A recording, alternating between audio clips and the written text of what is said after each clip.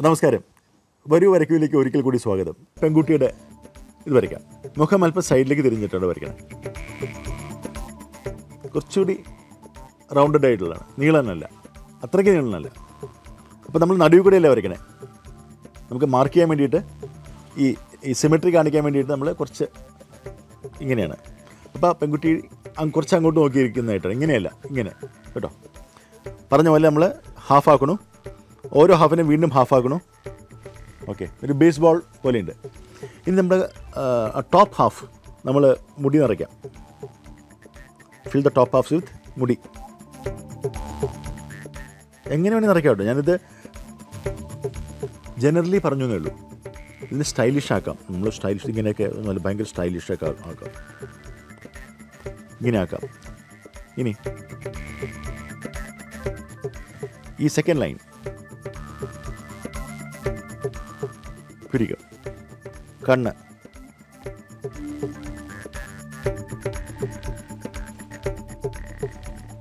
മൂക്ക്.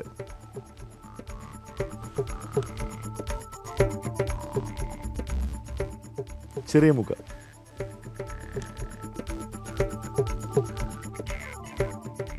ചുണ്ടുവരച്ചു. ആ ലാസ്റ്റ് ലൈനിൽ കൂടെ ആ ചുണ്ടിന്റെ നടുവ് പോകുന്ന ലാസ്റ്റ് ലൈനിൽ കൂടിയിട്ടാണ് ചെവി. ചെവിയിലൊരു ജിംകി നമുക്ക് ഇനി നമുക്ക് മുടി കുറച്ചൊരു എംബലിഷ് ചെയ്യാം.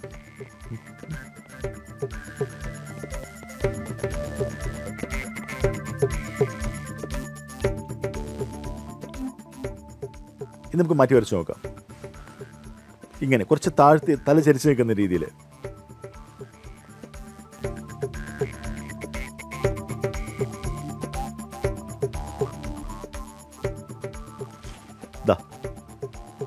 ഇങ്ങനെ ഒരു പുരിക. ഈ ലൈനിന് മിഡിൽ ലൈനിന് മുകളിലായിട്ട് പുരിക. ഇത് പരിഭ്രാന്തിയോടുകൂടി നോക്കുന്ന ഒരാളാണ്. പുരിക മുകളിലേക്ക് പോയാണ്ട ഒരു മൂക്ക് ഇങ്ങനെ ഒരു മൂക്ക്. മൂക്കുകൾ കണ്ണ് ചെവി ചുണ്ടെല്ലാം പഠിപ്പിച്ചു തരാം. ഐലിഡ്സ് നെറ്റി കഴുത്ത് ഇതെല്ലാം വെവ്വേറെ ഓരോരോ സെഷനായിട്ട് തന്നെ പറഞ്ഞു തരാം. അതോടൊപ്പം നിങ്ങൾ ചെയ്യേണ്ടത് നിങ്ങൾ ഒബ്സർവ് ചെയ്യണം. എന്നാലേ നമ്മൾ പറയണത് കൃത്യമായിട്ട് രജിസ്റ്റർ ചെയ്യുള്ളൂ. കേട്ടോ അത് വളരെ വളരെ ഇമ്പോർട്ടന്റ് ആണ്. ഒബ്സർവേഷൻ ഇസ് വെരി ഇമ്പോർട്ടന്റ് ചുണ്ട് മാറ്റം വരുത്താനല്ലേ? ചുണ്ട് ഇങ്ങനെ തന്നെ ഇരിക്കട്ടെ. ചെവി ഒരു ഭയങ്കര ചെവി. മുടി വേണം നമുക്ക് ഇങ്ങനെയൊക്കെ ആക്കാം.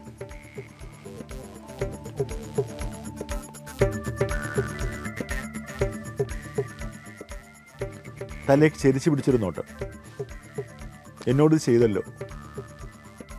എന്നാണ് അദ്ദേഹം പറയുന്ന വാക്ക്. ഒരുപക്ഷെ. എനിക്കൊരു വയസ്സായ ആളെ വരയ്ക്കാം. ഇത് മാക്കിയാണ്.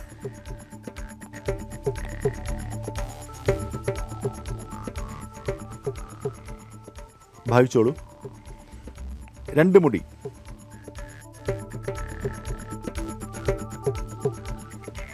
ഇവിടെ ഒന്നുമില്ല. ഇവിടെയൊക്കെ മുടിയുടെ ഭാഗമാണല്ലോ. രണ്ടാമത്തെ ലൈനിൽ കുരുക ഇങ്ങനെ. ഒരു ഭയങ്കര മൂക്കായിരിക്കും സാധാരണ. വലിയൊരു മൂക്ക്. മൂക്ക് ടച്ച് ചെയ്യുന്നത് ലാസ്റ്റ് ലൈനിൽ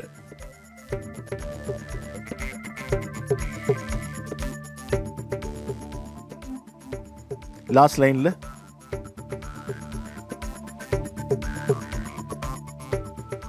ഇങ്ങനെ കാണിക്കുക. ഒരു പല്ല്.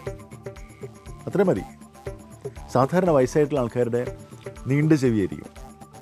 ശബ്ദങ്ങളിങ്ങനെ വർഷങ്ങളായിട്ട് കേട്ട് കേട്ട് കേട്ട് അതുപോലെ തന്നെ വയസ്സായ സ്ത്രീകൾ ഈ കാതിൽ തൂക്കുകളൊക്കെ ഇട്ടിട്ട് കാത് ഞാന്നിരിക്കുന്നുണ്ടോ ഇതിനെ ഒരു പുരുഷനായിട്ട് കണക്കാക്കുക അപ്പോൾ എന്തെങ്കിലും വലിയ ചെവിയാണ്.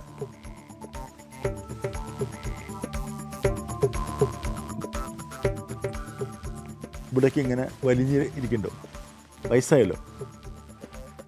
ഇനി നമുക്കൊരു മുത്തശ്ശിയാക്കാം. പുരികം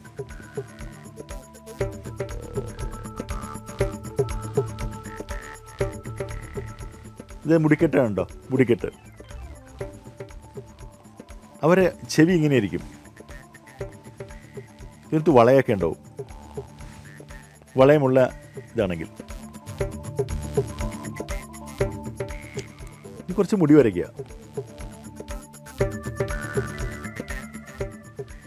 ഇത് മുത്തശ്ശിയായി. നമുക്കൊരു ഒരു സാമ്പിൾ സ്റ്റഡി നടത്താം ഏതായാലും മുഖം. ഞാനിവിടെയുള്ള എന്റെ ഒരു സുഹൃത്തിനെ വിളിക്കുകയാണ്. കണ്ടോളൂ.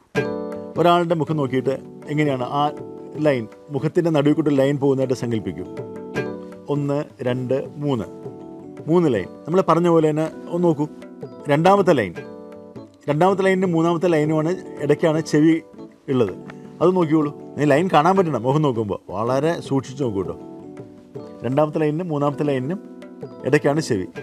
ചിലർക്ക് ചെറിയ ചെവി ഉണ്ടാവും. അപ്പം നമ്മൾ ഈ പറയുന്ന പ്രപ്പോർഷനൊക്കെ തെറ്റിപ്പോവും ഇതൊരു സ്റ്റാൻഡേർഡ് എന്ന നിലയ്ക്ക് പറഞ്ഞാണ്. ഇതിൽ നിന്ന് തെറ്റാനും വല്ലാണ്ട് തെറ്റാനും സാധ്യതയുണ്ട് പലരിലും പല മുഖങ്ങളിലും. ഇപ്പം നെറ്റി കുറവുള്ള മുഖങ്ങളുണ്ടാവും. നെറ്റി ഭയങ്കര ഇവിടെ വരെ നെറ്റിയുള്ള ആൾക്കാരുണ്ടാവും. ജനറലി നമ്മൾ കണ്ടുവരുന്നതാണ് ഈ പറഞ്ഞത്. ആ ഇനി നോക്കിയോളൂ മുകളിൽ സെക്കൻഡ് ലൈൻ പുരികത്തിന്റെ അവിടെ ഉള്ള ഇദ്ദേഹത്തിന്റെ നെറ്റ് കുറച്ച് കൂടുതലാണ്.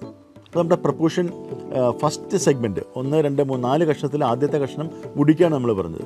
ആ ഒന്നാമത്തെ സെഗ്മെന്റിൽ കുറച്ച് മുടി കുറവുണ്ട്. അത്രയില്ല. കുറച്ച് പരന്നാണ് മുടി ഇങ്ങനെ പോണത്. ഇങ്ങനെ ഇങ്ങനെയുള്ള മുടിയല്ല കുറച്ച് പരന്ന് പരന്നൊഴുകുന്ന മുടിയാണ്. കുറച്ച് നെറ്റി കുറച്ച് പ്രോമിനന്റ് ആയിട്ടുള്ള നെറ്റിയാണ്. ഇനി ബാക്കിയുള്ള നോക്കൂ സെക്കൻഡ് ലൈൻ നടുവിലത്തെ ലൈൻ നടുവിലത്തെ ലൈനിന് കുറച്ച് മുകളിലാണ് പുരികം ബാക്കിയെല്ലാം പറഞ്ഞ പോലെ തന്നെ ഫോർത്ത് ലൈൻ ഈ നാലാമത്തെ ലൈൻ എന്ന് പറയുന്നത് കുറച്ച് ഈ നാലാമത്തെ സെഗ്മെന്റ് കുറച്ച് ചെറുതാണ്. അത് നോക്കിക്കോളൂ. ഇതൊക്കെ നോക്കണം. നമ്മൾ കാരിക്കേച്ചറാണ് വരയ്ക്കണമെങ്കിൽ ഒരു പോർട്രേറ്റ് ആണ് വരയ്ക്കണമെങ്കിൽ നമ്മൾ നോക്കി പഠിക്കണം. പലരും പോർട്രേ പോർട്രേറ്റ് വരയ്ക്കുമ്പോൾ ഗ്രാഫൊക്കെ ഇട്ട് വരയ്ക്കുന്നുണ്ട്.